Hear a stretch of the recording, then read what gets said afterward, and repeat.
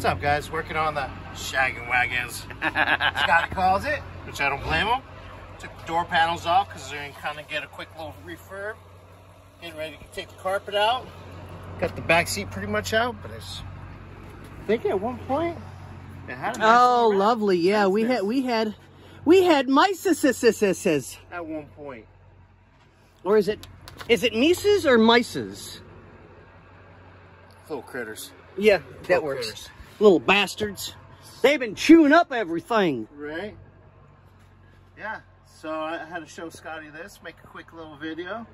But of course, we'll get that all cleaned up. Of course, of course. And then, uh, yeah. Anything but a horse, a horse.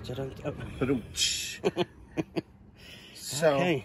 now that the boss's truck is quiet, we can hear again. huh?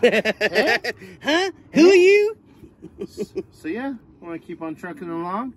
The next video should have all the carpet and all the rest of the door panels. The seats will be out. And, uh, going from there, guys. And on that note, boinsy! Later. So Ken's interior panels, if you look right there, that's the part that was kind of out of the sun. The color's pretty original. I actually took this piece with me to the hardware store to go find the right paint. And I mean, I found satin colonial red. I, first I saw the gloss, the cap, and I was like, ooh, yeah, but that's too shiny. So the satin was right there. So I'm just gonna mist a little here, and we're gonna let it dry and see see how good. This it is just a tester, guys. This is just a test. This is a test of the emergency broadcast. Eh. Oh. Well,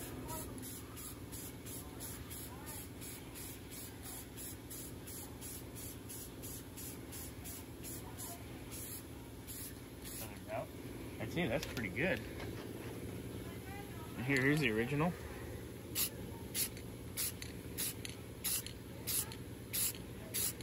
Good enough.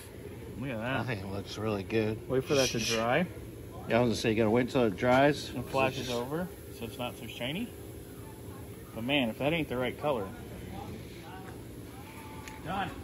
Dun, dun, dun, dun, dun, dun. All right, guys. Well, we'll see you later.